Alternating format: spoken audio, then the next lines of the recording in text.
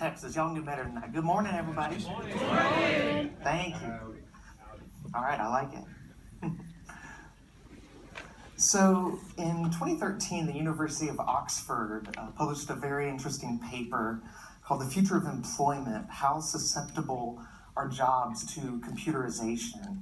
And the result they came up with was really eye opening 47% of all jobs performed today will be done by artificial intelligence within the next 20 years.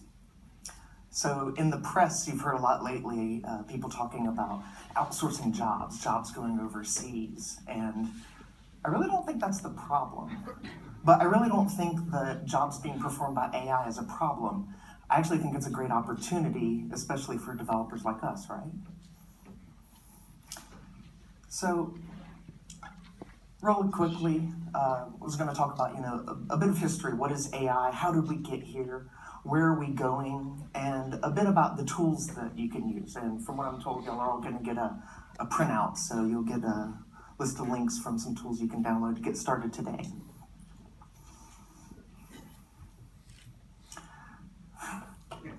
So why are you listening to me? I run the uh, Connected Healthcare Foundry for AT&T in Houston, Texas. We're part of the Texas Medical Center's Innovation Institute, and my background is not computer science. I actually have a degree in philosophy and uh, also studied psychology. Um, I focused on philosophy of mind, artificial intelligence, and logic. Uh, all of the computer stuff that I learned was actually by working at the college radio station. It's also where I learned radio engineering, which is why I'm at AT&T. Uh, but by learning both of those things simultaneously, it, it really gave me an interesting um, background to study AI and to learn about you know, how the human mind works and how we can model computers so that they can solve tasks. So what is artificial intelligence? So, at its very basic definition, AI is a computer system that can perform tasks that normally requires human intelligence. Now, that leads to another question, which is what on earth is human intelligence, right? That's why I say philosophy. So, uh, real quick before I talk about machine learning, in 1980, and uh, uh, just a couple of quick definitions, when people talk about AI, uh, they think of one of two things. Either they think of uh, the movie Artificial Intelligence or Ex Machina, if you like the darker version, or Skynet. Those are examples of uh, strong or general AI. Those are, are AI systems that can perform pretty much any human task given to them. Uh, but there's also, and this is kind of what we're working on today, uh, which is narrow or weak AI, where it focuses on a specific task, right? So if you want an artificial intelligence system that can uh, reroute all the packets on your network very efficiently, that'd be an example of a narrow or weak AI. Uh, machine learning. In 1959, Arthur Samuel defined machine learning as a field of study that gives computers the ability to learn without being specifically programmed. And for uh, my fellow developers in the room, you know, when you write a program, you know pretty much with a little bit of error checking, what your inputs are going to be. And you know what you expect the outputs to be. But machine learning kind of goes away from that. It's where you train the system to understand not specific inputs, but it uses dynamic programming based off things that it's learned from what it's previously seen to make decisions on new information that it's never seen before. So a bit of history. I'm a history buff. Um, how did we get here? Anybody recognize this guy, Alan Turing? Uh, he's not only considered the, the father of AI, but he's also the father of theoretical computing. Uh, he's one of my idols. Um, in 1950, uh, he wrote a really amazing paper that's still relevant today called Computing Machinery and Intelligence. And in there, he defined the Turing test. Well, he didn't call it that. We call it that because he wrote it. Um, but the Turing test is, if it's easier to give an example, I think. So if you're on a, uh, let's say Facebook Messenger or WhatsApp or, or any kind of chat application, uh, if you're talking to one of your friends, you know it's another person on the other end. But especially in some of the newer versions of iOS and Android, you can actually write your own, you know, bots uh, that can respond to people very intelligently. You can say like, I need an Uber, I need a Lyft, and it'll look at your location, find the closest Lyft, get it for you. People are able to write really intelligent chat applications. And if anybody's played with uh, Cleverbot online, it's it's really interesting. At first, you, you're, you're like, oh man, this, this is, you're like, how are you? I'm fine. Um, but at a certain point,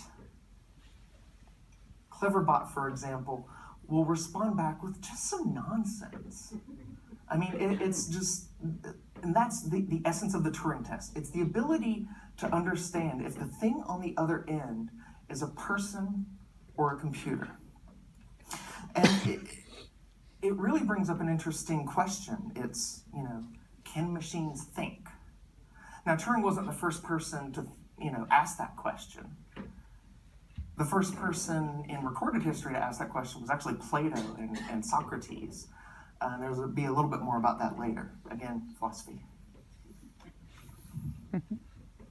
so in 1952, Arthur Samuel wrote what many people consider to be the world's first self learning program.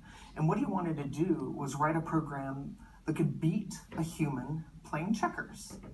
Now, you'll notice when uh, we go through this history, when people started training computers to perform human tasks, it, it's almost like uh, teaching a child. You teach it with, with simpler tasks, and they get more complicated as we've evolved this technology. Now, he worked on this program, and he was able to uh, build one that could play a reasonably good game of checkers just like you're playing a kid. He worked on it until 1970 when it was actually able to beat an amateur ranked checkers player. I did not know that there were amateur ranked checkers players, but there are. And what he did, if you've ever written a program that plays something very simple like tic tac toe, uh, the way that you would do that, because there aren't many options and there's only X's and O's, uh, you're going to brute force your way through that one, right? You're going to just play the game through the end based off every possible move that you can make on the board. Well, as games get more complicated with checkers and chess and Go and things like that, uh, that's just not feasible. You can't expect somebody to sit there for four hours waiting on a computer to pick out its next move when you're playing a checkers match. So you can't do those brute force methods. So he used alpha beta pruning and a min max function to determine, based off the entire position of the board, what was the next best move. And it's just fascinating to me that this is 1952. Computers filled rooms, and it took one of these big room filled computers to play a game of checkers. Whereas now, you know, I have an app on my phone that can whip my butt any day. so, getting back to my background philosophy, psychology, uh, Frank Rosenblatt in 1957 started working on, uh, and he actually he came up with a theory of neural networking. And that is you know, modeling these systems after the way that the human brain actually works. So building neurons, you know, building multi-layered systems, not just pure pure functions and algorithms. And he built a machine in, in 1957 called the perceptron. What a sci-fi 1950s name for a machine, the perceptron. And uh, if anybody wants to see it, I got to visit it when I went to DC last year. It's in the Smithsonian. It's called the Mark One. It's fascinating. It uh, would fill half of this front row here. And uh, what the perceptron was able to do, uh, and again, this is the 1950s. You could hold up a geometric object like a triangle or a square or a circle, and using a camera, it would take a picture of it and tell you what it was. Now that sounds pretty easy to do today. But in 1957, that is some mind blowing stuff going on. So, real quick, um, and thinking of object recognition and uh, my good buddy Plato, uh, that was one of the things he thought that machines would never really be able to do, which is recognize objects. He had this theory he talked about in the cave allegory that um, if you think about cats, for example, I love cats. Uh, the reason we can look at a cat and know it's a cat is because there's there's this form of a cat. There's this this perfect cat in the universe that all cats kind of descend from. And he thought that a machine would never, ever be able to do that because it's something that, that requires consciousness. And that machines could never have consciousness. So, uh, and if any of you took uh, stats in college or university, uh, you probably learned the K nearest neighbor algorithm. It's, uh, it was written by Thomas Cover and Peter Hart in 1967. And uh, again, cats, dogs, love this example. It's a very simple but very powerful algorithm. And it's used uh, in the early spam classification systems. It's what was used. So if you got a piece of email, uh, you know, back in the day, you just get all your emails. And now, you know, you started filtering out spam. You get this little spam folder that nobody ever checks, or at least I don't check it. Um, and you can use the k-nearest neighbor algorithm to determine, based off examples it's seen before, and train the system to understand what spam looks like because spam is always changing. Spammers are smart, they're developers too, all right? So they're not going to make spam always look the same, but you can train a system to understand, you know, what's the essence of spam? What does it look like? So it's really about classifying features. So if you think about cats and dogs, they make different sounds and they have different claw types. Dogs bark, cats meow. Dogs have claws that are always extended, and cats have these magical claws that can retract back into their paws and put them on your face when you're sleeping and claw you to wake you up, as I found out. So if you get, you know, you, let's say we, we've classified these these three cats and, and, these two lovely dogs down here, and you get a new thing, you're like, oh my God, what is it? Well, you look at the description and you graph it, just like we love to do. So, and you want to see how close it is to its neighbors. So we've graphed this new uh, little question mark guy out, and it's closer to two cats and one dog. Uh, the key is to pick, you know, a, a, a small odd k, uh, so that you can make your circle small, and you don't want to tie, so you pick it odd. and that's how you can determine based off things that you've already seen, which is those three cats and those two dogs. You get a new thing, compare it. It's closer to the two cats. Must be a cat. Might be a lion though. Still a cat. And jumping forward a little bit, although this research really started in the 1960s, uh, there was, before John Kennedy uh, came out and, and made the great statement that we will send a man to the moon, uh, we were, you know, scientists were pretty convinced that we will send a robot to the moon. Um, because it seemed too dangerous, right? It's much safer to send a robot up there to gather stuff and send back signals than it is to send a human and all the, the dangers that space brings, if anybody's seen Gravity. Uh, so the guys at Stanford were working on this, this autonomous vehicle. They called it the Stanford Cart. And the, the problem, if you're going to steer a robot on the moon, is that thanks to the stupid speed of light, it takes two and a half seconds for a radio signal to bounce back and come back so that when you make a left turn, the thing on the moon turns left. Well, if anybody's ever tried to play a game with lag, that ain't working. And if you think about the moon, that's really not working with two and a half seconds. You're going to fall into a bowl or into a hole. You're going to hit a boulder. It's going to get stuck, and you've wasted sending a robot to the moon, which is awesome in and of itself. So in 1979, they pulled off this amazing task. They built a cart that was able to navigate a room with no human intervention, riddled with chairs. And again, thinking about the way kids learn, like if you take a, a three or a four year old and, and have them saunter through a room full of chairs, I'm betting they're going to bump into a chair or two on their way to the other end. But as we get older, as we learn, you can learn to navigate that seamlessly. Well, I can't because I'm clumsy, but most of you can. All right, so thanks. I needed some musical get up for this one. So the lawyers wouldn't approve this image, but I need you all to close your eyes for a second for me and picture Eddard Stark and that glorious meme that says, brace yourselves, winter's coming. Because I couldn't get that image approved. There you go. so there was something awful. I mean, I think it's awful. It set us back, you know, much like the Dark Ages set us back scientifically, you know, a millennia. We'd probably be colonizing Mars or Pluto by now. Uh, but something similar happened in AI research. Uh, in the 70s, DARPA's funding got cut. Um, and they were doing a lot of the, the best research in AI and machine learning in the, the 60s throughout the 70s. Uh, there was a, it was called the Mansfield Amendment. And uh, what it said was, you can no longer do, and you know, as a person in AT&T Labs, this this hurts me. You can no longer do, you know, just fun, awesome research for research's sake. You had to have a mission-oriented project that had immediate gain. That's code for military, right? And if you couldn't show that what you were working on could pretty quickly be turned into a military application, you were not getting funding. And in fact, Congress said you could not get funding anymore.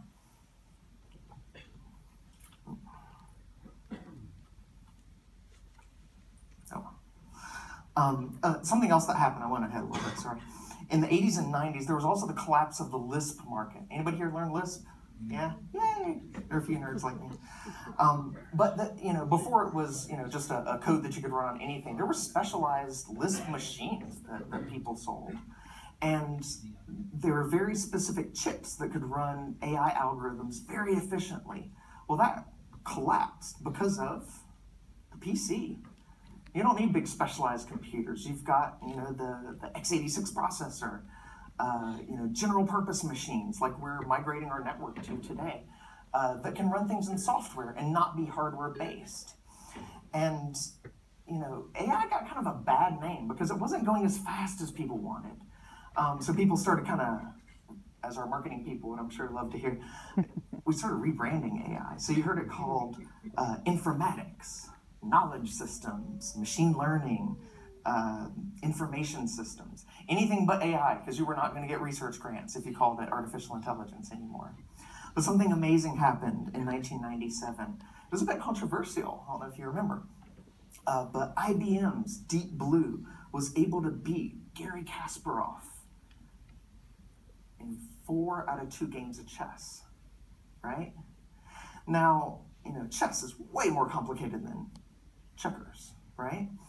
Um, and this actually, the work actually started in 1985 in Carnegie Mellon, and IBM bought up the guys that worked on it, and, and they built uh, the, the Deep Blue platform. And it had a search depth of 6 to 20 moves. So it could think about 20 moves ahead, which is way more than I can think ahead. It could process 200 million positions a second, which is just mind blowing to me. And this is, you know, this is in the, the late 90s. Uh, and it studied 700,000 Grandmaster games, which gave it the knowledge of basically every great chess game that it ever played. Now, I could study chess for years and never uh, really understand 700,000 unique chess games.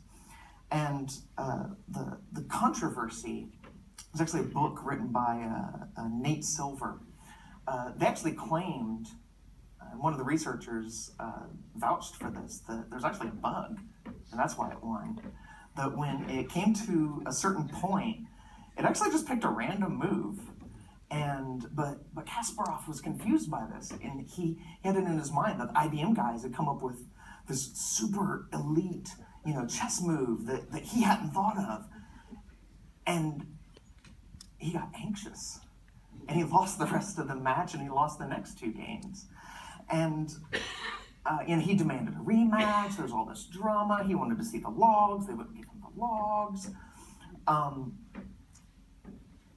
but as it turns out, um, regardless of that match, uh, in 2006, they took you know the base code that, that they've been working on since then, and instead of running on a you know semi truck sized thing that was Deep Blue, uh, on two, two IBM Core 2 Duos, uh, the uh, Deep Fritz, which was uh, somebody had been working on it since then, uh, was able to beat uh, Kasparov's kind of successor, Vladimir Kramnik, in a 4 to 2 match. And that's running on two personal computers.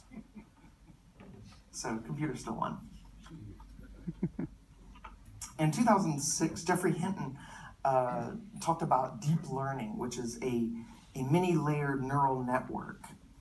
Um, and what's interesting is, is really the concept of, of back propagation.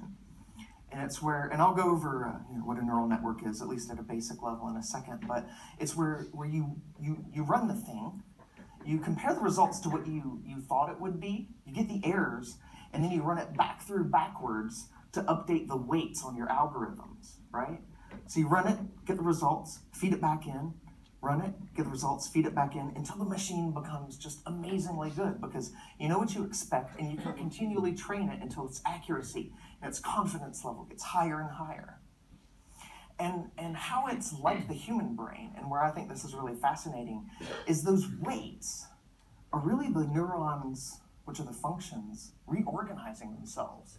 Just like you can train your brain by doing tasks over and over again or learning new things, the neurons in a neural net reorganize themselves. They train themselves to be in different order and have different importance in different ways. All right, deep learning in a nutshell. So this is a very basic one. So this is a neuron. Uh, it's got a function, it's got three inputs, and it's got you know n number of weights and an expected output. So one neuron does psh, nothing, right? Bam, this is the best PowerPoint graphic I've ever done. Appreciate it, y'all. I suck at PowerPoint. Um, but this is a three-layer, three-neuron uh, neural network. It's very basic. I'm not going to go over back propagation. You can read a paper on that. Um, but really it shows, you know, three inputs, different weights on each input, going into different layers, these hidden layers. And there could be any number of layers in there. Um, and again, they reorganize once you put them back in uh, to understand what the input is so that you don't have to specifically tell the program what to expect. The machine learns and reorganizes itself to get better and better at tasks. Um, something that a lot of people don't even think about as, as AI or machine learning is Microsoft Kinect. I love this thing. Um, but if you think about it, the ability for a little camera to understand that I'm waving or I'm swinging a bat or you know doing any number of these tasks, you know that took some training. It, it's it's not like there's somebody on the other end watching you, you know, telling the computer what you're doing. Um, it's real time pose recognition. And the guys at Microsoft wrote a, really fascinating paper on, on how they pulled this off. But how they did it was they used an extremely large training set. They had lots of images of people you know, in various poses. They knew, you know, there's only so many things we can do with two arms, two legs, a torso, and a head. So they had pictures of people in various number of poses, and they tagged it. And they told the system what this is, and they used a decision forest, which is a forest of decision trees. And each one of these trees uh, was labeled to recognize a different body part, doing a different task. And the guys at Microsoft, when they trained it, it had uh, three trees with a depth of 20. So if you can imagine, it's like that, it's huge. Uh, they took a million images to train this system, and it took a full day. Every time they redid it, it took a full day to retrain the system. Every time they reevaluated it, and that's on a thousand core cluster, right? That's huge. And then, you know, once they train it, they can put it on a chip and put it in your living room, and then, you know, I can play baseball with a computer. It's kind of awesome one of my favorites, IBM Watson, right? In 2011, we all got to watch Jeopardy and, and see Watson beat a person, or beat two people, in Jeopardy. Now, Jeopardy is a really interesting game to think about because it's not about knowing the answer. I mean, it's about knowing the answer, right? But you can put all the knowledge in a database that we have as humans, right? the problem with Jeopardy is understanding what on earth is the question? Like, what are they getting at? And how do you train a computer to understand? So, uh, IBM had a, a uh, project called Deep QA, because again, the problem is understanding the question, not the answer. Which is now why, when you use a search engine, you no longer have to write these really uh, crazy Boolean, you know, search parameters. You can just type, "What is the sound of one hand clapping?" and then, you know, the search engine knows to go look for that for you. Uh, well, in 2011, you really couldn't do that as well. And the work that IBM did with Watson really pushed us a bit further to where machines could understand what people were asking, which makes it a lot easier to work with them, right? My opinion. So, uh, but again, these are on huge, massive systems. Uh, Watson uh, had all of Wikipedia, 200 million pages, four terabytes of data. It ran on 90 IBM Power 750s, which is like four pizza boxes stacked up, right? 90 of those guys. It had uh, 1 million books in its knowledge base. So again, it's not about having the knowledge, because you can put all that in a database and make it fairly easy to search.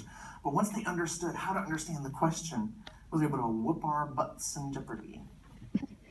so, and again, uh, jumping a bit forward to uh, my healthcare stuff.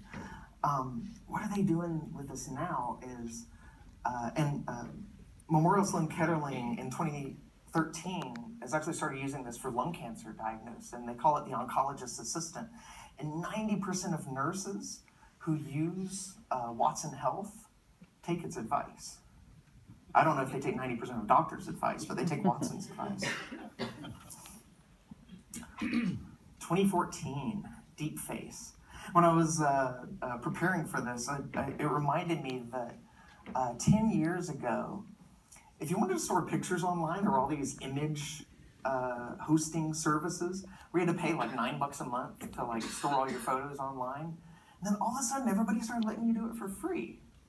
Well, why would they do that? If you're not paying for something, you're the product, right? So they started learning from all of our pictures. So Facebook used a nine layer neural net with 120 million connection weights. This is a massive system. They trained it on 4 million uh, images. And, and facial recognition is ridiculously hard because uh, not all of us, you know, are, are face forward like this uh, handsome gentleman here.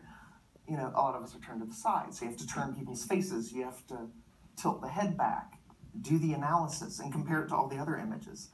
Uh, fun fact, the FBI's facial recognition system, when Facebook uh, published their paper on this, was 85% accurate.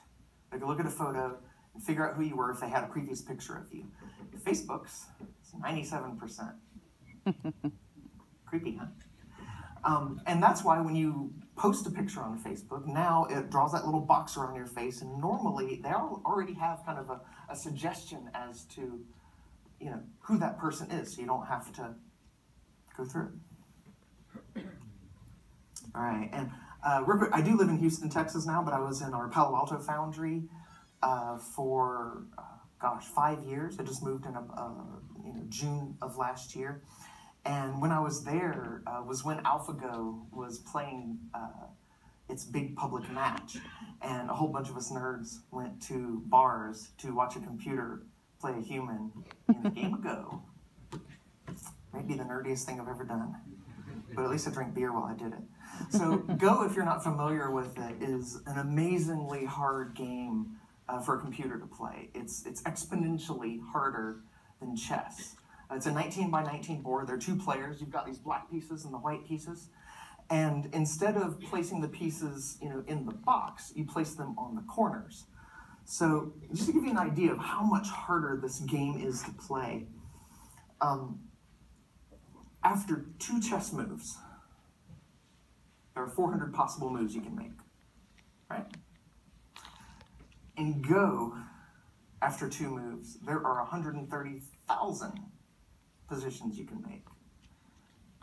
If you know anything about combinatorics, that is a bananas harder problem to solve than 400. Um, and, and because of the way Go is, where you capture territory and space opens up on the board, uh, it's, it's constantly that hard. It's not like the problem gets easier to solve. Sometimes it gets harder to solve. Um, but they were able to do it in 2016. Um, they used a Monte Carlo tree search, deep neural net, 12 layers. So Facebook's DeepFace, nine layers. This is 12 layers. So that crazy bananas PowerPoint thing that I did, I was not going to do a 12 layer one for you guys. Um, I know, right? Sad. Um, and they trained it. Uh, they gave it uh, you know, 30 million moves to train it. They let it study every great Go match. And, and people who, if you, any of you play Go, there are replays that you can watch online uh, because people have taken detailed notes of every move that's been played in every major, you know, ranked uh, Go game, and this machine analyzed that. Um, but what's interesting is what I've talked about previously was uh, supervised learning, right? Where you know the output and you can continually train the machine, right? Because you know what you want at the end of the day. But what they did was a, a little different. It was reinforcement learning. It's where you kind of you know what you want in in general. You want to win, but you don't know at the end of every move what the next best move is. Uh, but you, it plays through all the matches. They had it play itself. It played, you know, forks of its own version. It played against other humans. Um, and by doing that uh, in an unsupervised fashion, they were able to train a system to beat one of us, which uh, in know, 2010 or so, I was talking to someone about Go, and uh, he said that a computer would never, and I mean never, be able to beat a person at the game of Go. I should call him, because that was just last year. Never say never.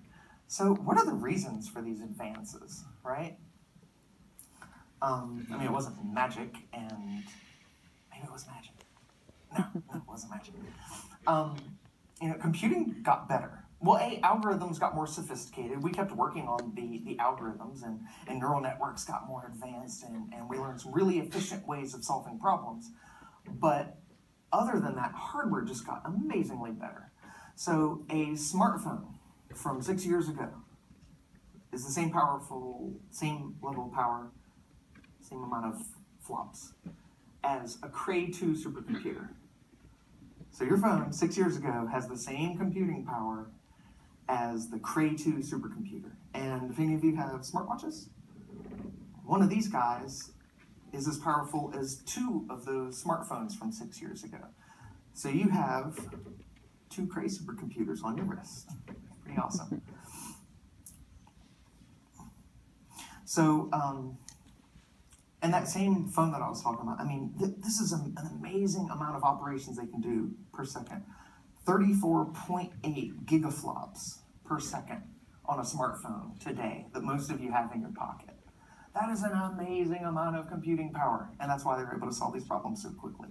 Uh, just, I mean, just a few years ago, IBM Watson was 80 teraflops, but again, that was kind of a big machine. But you get what I'm saying. Watch. Uh, so where are we going? Trends. This is supposed to be trends. I've been talking about history for way too long. Um, healthcare, my bread and butter right now. Um, you know, I, have met a handful of, of, various types of doctors in my new role, and I've noticed there's the old guard of doctors who hate technology. They want paper notes and they fax everything. Bane of my existence. uh, and then there's the the kind of the, the the new guard, the the guys that love and embrace technology, and they see it like I do as a tool.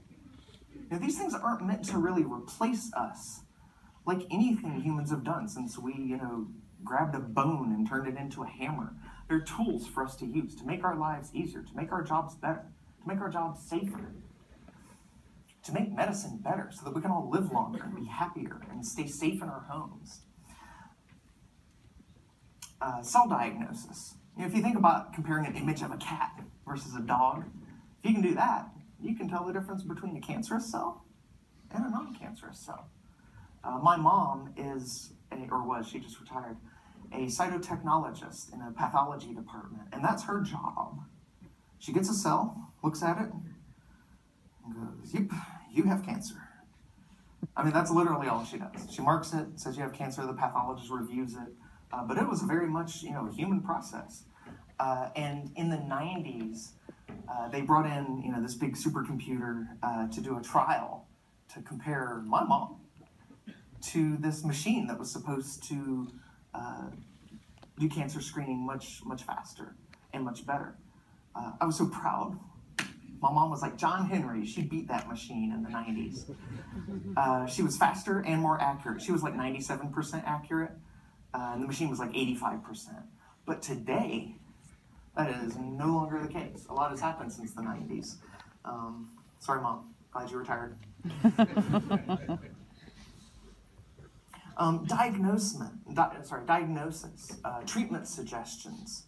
Um, and this is leveraging all sorts of different aspects of artificial intelligence and machine learning. This is natural language processing. Uh, this is the ability to understand, you know, uh, what doctors mean when they write things. Again, it's, it's about understanding the question. It's about understanding what people are writing so that we can interact with these systems more efficiently. Uh, right now, we're in kind of a rocky time in healthcare where, uh, you know, because of the Affordable Care Act, uh, doctors and, and hospitals and clinics have all migrated to electronic health records, which is why most of the time when you see your doctor now, you see him typing on his laptop or her laptop.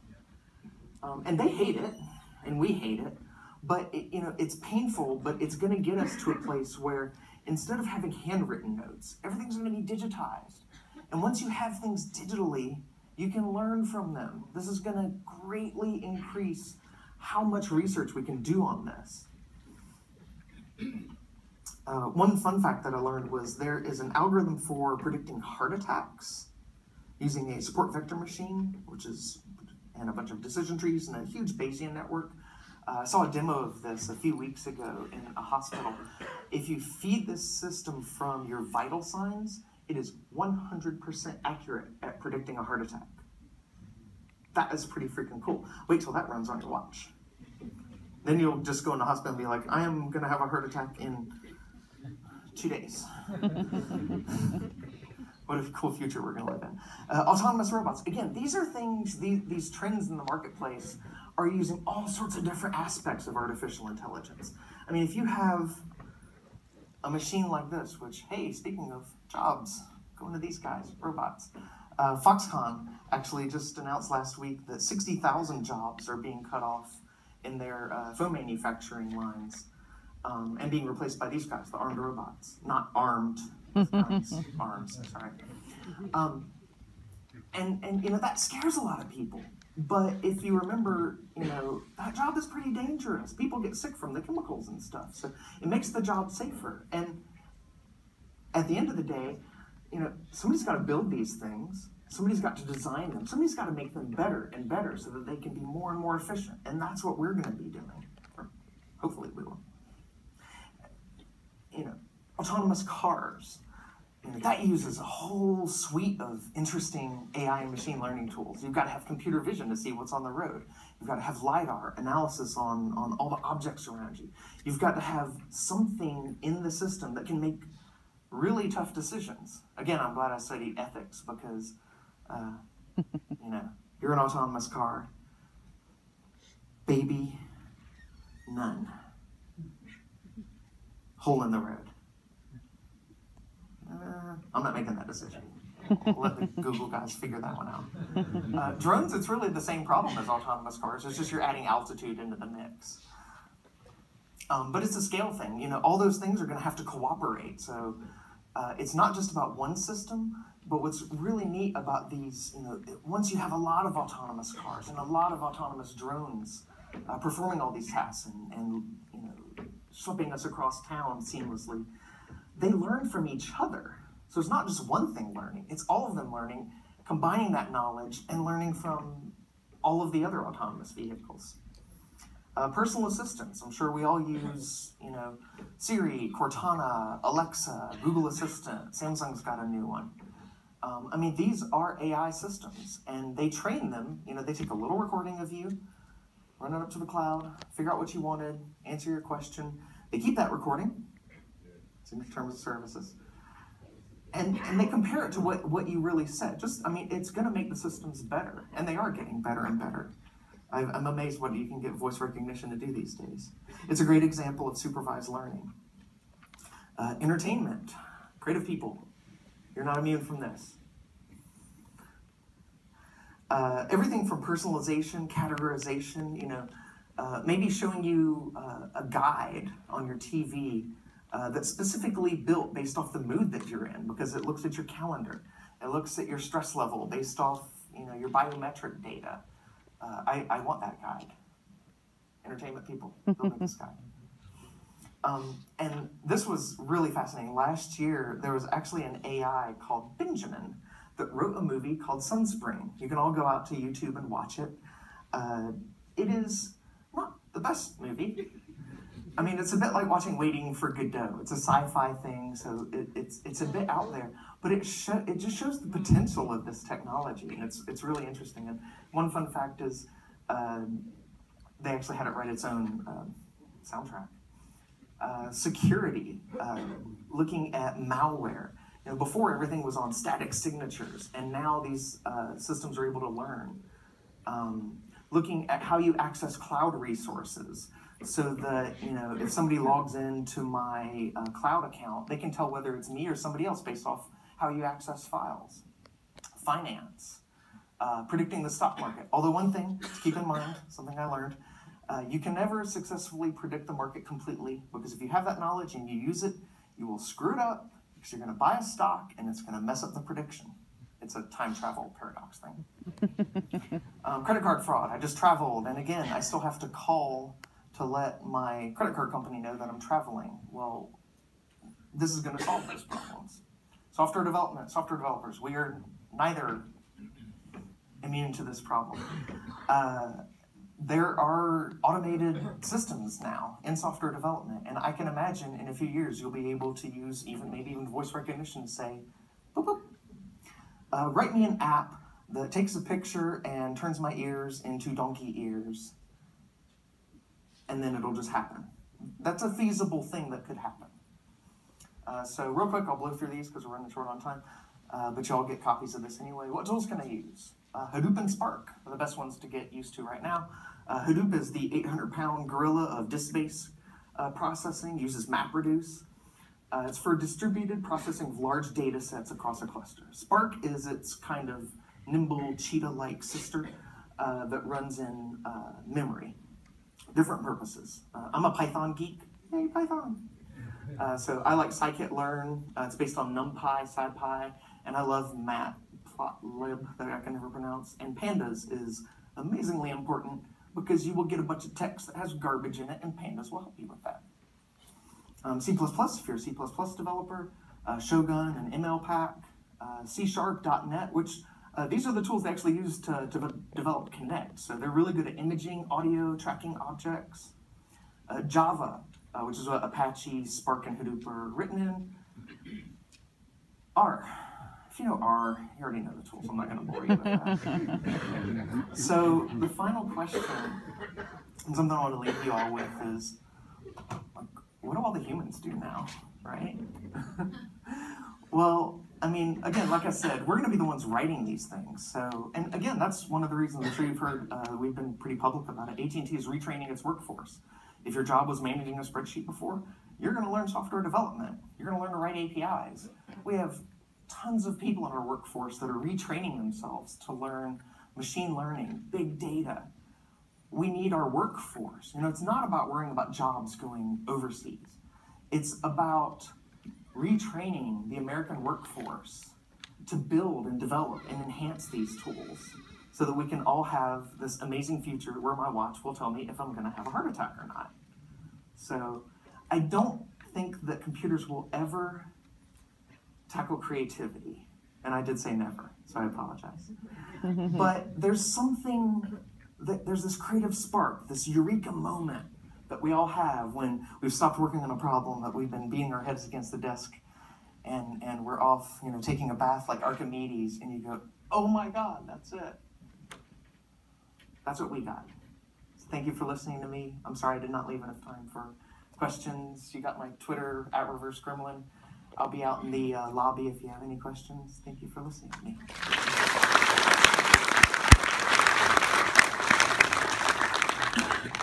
Great job, Nadia.